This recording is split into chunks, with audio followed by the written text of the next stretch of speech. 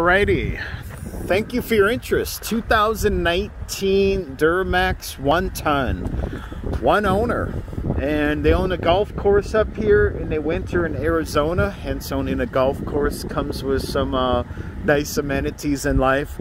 So a lot of his miles are just straight highway miles, hauling nothing but people and goods between uh, his Arizona house and Minnesota house. Really clean, really nice. It is a one ton.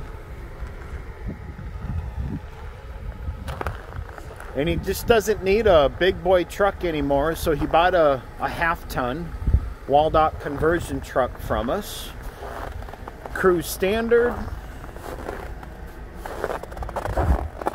It's a Denali, so of course it has everything. Gonna have spray and liner. Let's take a peek see here. Does have the gooseneck fifth wheel holes from factory, it looks like.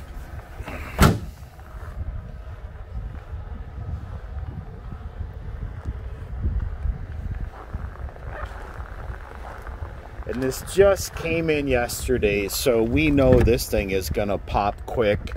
We haven't had a chance to have it inspected yet to know are we doing tires or brakes, but Bart, this is one for your family to really come and see.